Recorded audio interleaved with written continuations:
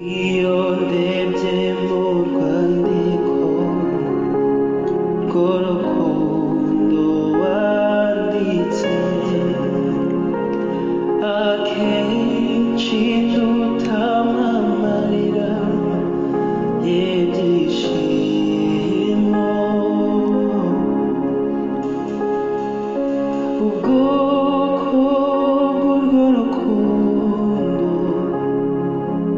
see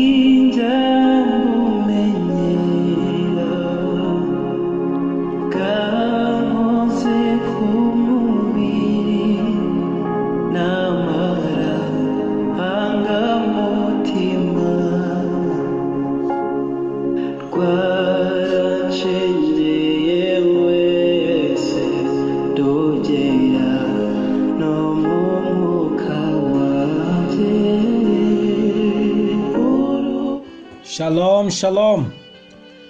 Ndabasuhuje mwese mu izina ry'umwami yesu kirisito aho muherereye hose. Imana ishimwe cyane ku bw'uyu munsi iduhaye. Ndagusengeye aho uherereye hose ngo ubuntu umeze nk'ikime ugutwikire wowe n'ibyawe byose n'abawe bose. Neza y'imana itembe uyibone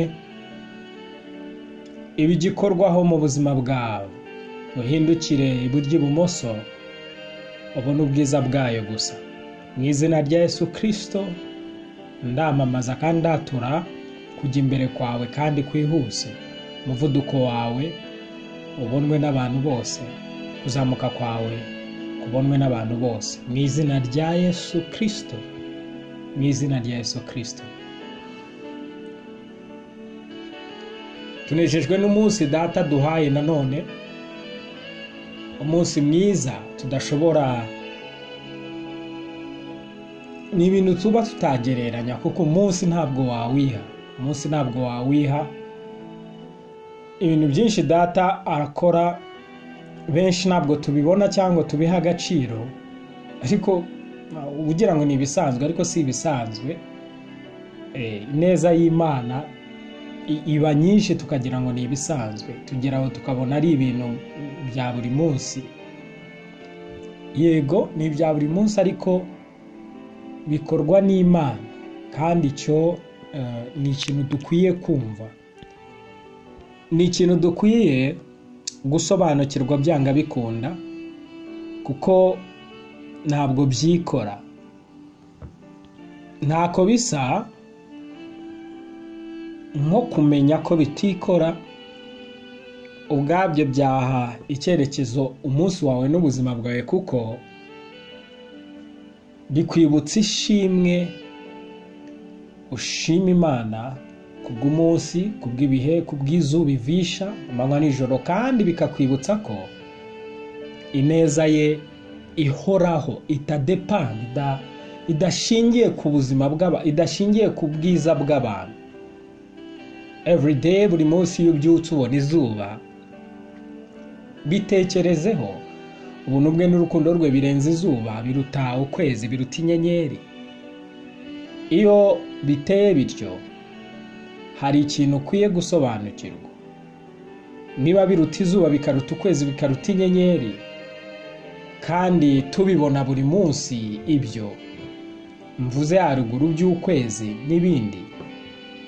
Bivuze ngo ineza ye ni nyinshi ku buzima bwawe. Burya ibikugose imbere n'inyuma ushobora kuba ubizi cyangwa utabizi ariko icyo ndi kugukangurira no kugushishikariza ni uko urebeye kuri ibyo bigaragara ushobora kumenya ko hari ibitagaragara kandi bihoraho bya buri munsi. Imana ishimwe cyane rero. Imana ishimwe imana ishimwe cyane.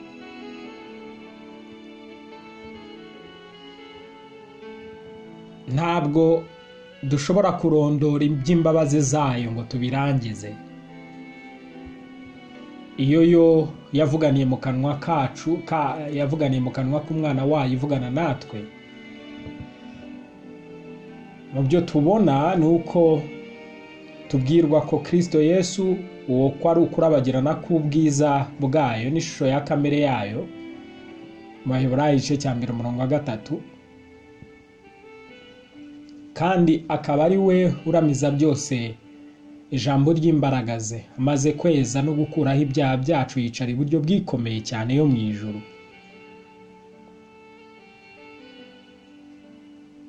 Imana ishimwe ko yejeje ibyaha byacu byose akicara iburyo bwikomeye cyane yo mu ijuru. Wari wacira ko imana yakubabariye.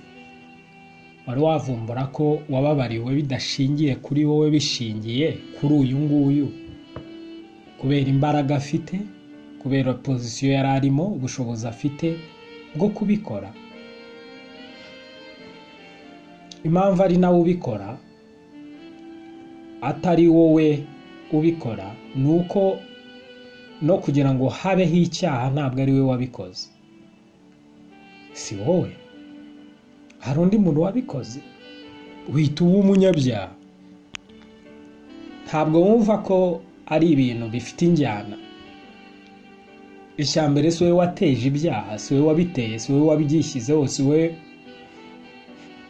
si wowe wabitangije? Undi muntu yarabikoze.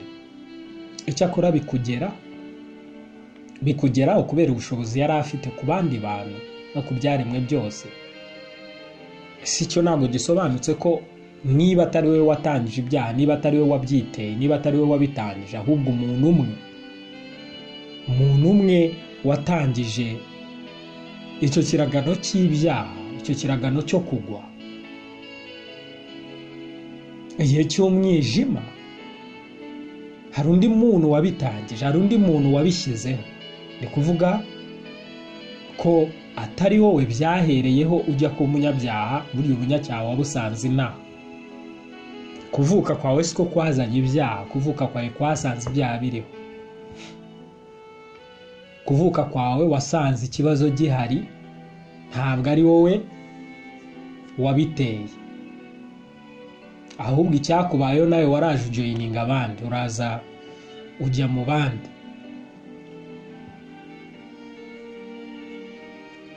Umunyabyaha ku bwa kavukire yawe.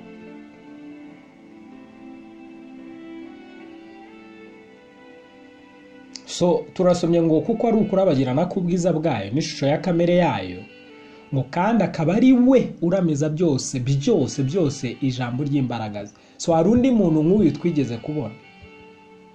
Wagiye avuga ngo habe ha- ha- intare yitwa intare. Ikaba intare. Wagiye avuga ati wahaye amazina ibyaremwe. Ko bibiri tubwira ngo imana izana ibintu byose ikabizana imbere ya adamu ngo amenye uko abyita ngo uko yakise ikintu cyose byabaga ari ryo zina ryacyo. So muri make ari gukoresha imbaraga z'ijambo rye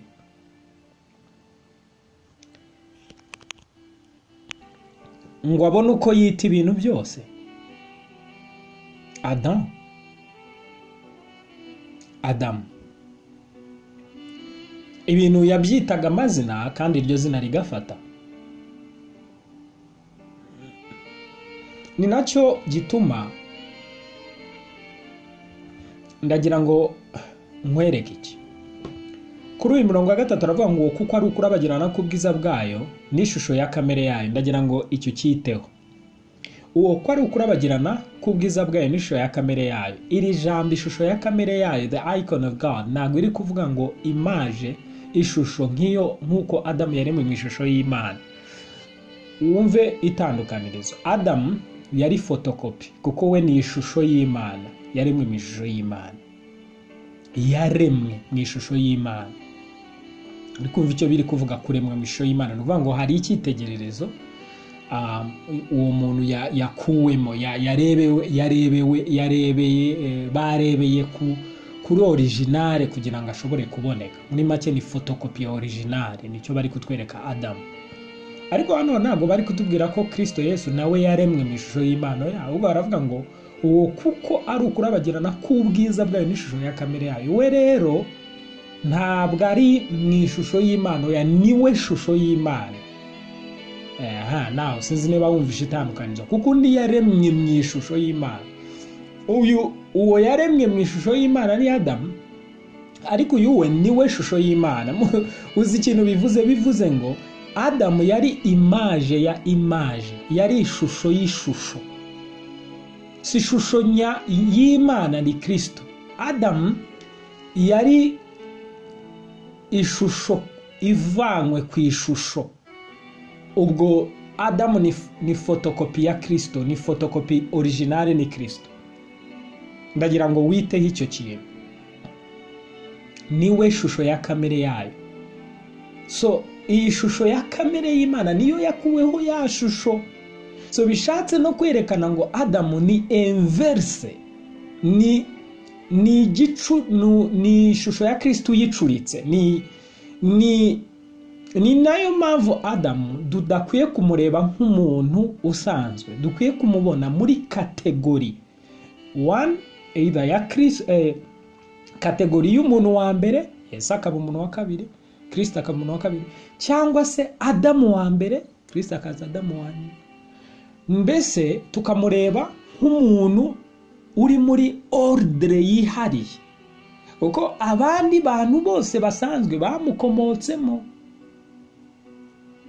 Ku bw'ibyo adamu ntabwo ari adamu bityo gusa hizi an image of christ. Ni imaje ya kirisito ni ishusho ya kirisito ku bw'ibyo niyo tumwumvishije neza tubyumvishije neza duhita tubona tuti oke so mu irema burya imana irema adamu yari nk'ubutumwa iri gutanga. Bwari bumeze nk'ubutumwa iri gutanga muri uwo ngo ubushobozi afite bwo kwita inyamaswa ubushobozi afite bw'uko ikiri mu mubeho kiri bube ku bantu bose ubushobozi afite bw'uko ibintu byose biri munsi y'ubutware bwe ni nako hazaza undi umuruta. Ni nako hazaza undi umuruta. Ufite ubushobozi bwo kuramiza byose imbaraga z'ijambo rye kurusha wa wundi ufite ubushobozi bw'uko ibimubayeho biba ku muntu kurusha wa wundi? Ni naho dusomye rero ngo amaze kweza no gukuraho ibyaha byacu. So wa wundi yari afite ubushobozi bwo gutera ibyaha. Ndagira ngo mwibutse we ni wari urimo kuko ni we wabikoze. Ndi kuvuga uwabikoze ni adamu wese we wabikoze. Icyakora wowe wabaye inzirakarengane kubera ko adamu yari agufiteho ububasha. Si urumva uwo muntu nta nubwo mwakwigereranya. Kubera ko yari afite ubushobozi bw'uko ibyo akoze wowe utabihindura. Keretse undi muntu uri muri kategori ye cyangwa mu rwego rwe ari we kirisito so kirisito yesu nawe ngo amaze kweza no gukuraho ibyaha byacu. So none wowe ushobora kumva uko ibi bintu biteye. Uwabiteye si wowe. N'uwabikuyeho si wowe. You see? Oh my my.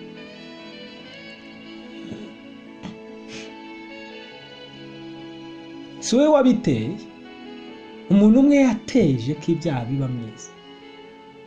Ubutware yari afite yabukoresheje nabi kwera ateza ibibazo n'ingorane ariko ngo uyu shusho y'ukuroriginari aje ari nawe noneho kuva kera isi itararemwa imana yashaka ko dushushanywa n'uyu originari apana fotokopi so niba muri kubyumva bivuze ngo kwanza nta nubwo byari umugambi w'imana ko twebwe dusa na adamu. Ndi kuvuga adamu mu buryo bwose yaba yakoze icyaha cyangwa atarakora icyaha. Ubwo ushobora kuvuga ngo amaze gukora icyaha so ku bw'ibyo. No ni na muri ya shusho yari afite atarakora icyaha. Siwe ntabwo yari originari yari ishusho y'ishusho. Si imana ye ntabwo yagambiriye ngo duse n'uriyo yashaka ngo duse na kirisitu so kubera iki yaremwe? Yaremwe kugira ngo abe sampo nk'ubutumwa bubanziriza wa mugambi w'inyamibwa w'imana kuva kera isi itararemwa yuko tuzashushanywa ngo tugirwe abana bayo. Ko tutazagirwa abana bayo biciye muri oya adamu tuzagirwa abana biciye muri kirisito yesu. So mbere y'icyaha cyangwa nyuma y'icyaha icyo si cyo kibazo ikibazo kiri ngo uyu adamu bwe ni imaje ya imaje ari mu ishusho y'ishusho ku buryo ni enverise ni igicuriko acu ni nka kirisito ucuritse. Ariko ibyo yakoze yarabyangije yesu kirisito arabicurukura niba muri kubibona. So yari ubutumwa bubanziriza kirisito se amaze kweza amaze kweza. No gukuraho ibyaha byacu yicara iburyo bwikomeye cyane yo mu ijoro hari uwabitangiye abishyiraho ibyaha ashyiraho ibyaha hari n'uwaje abikuraho.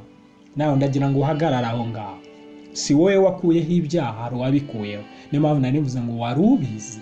Izo nkuru urazizi. Kuko akenshi uhita wizanamo ukavuga uti se ngewe nkora iki? Wakoze iki se kugira ngo ube umunyabyaha?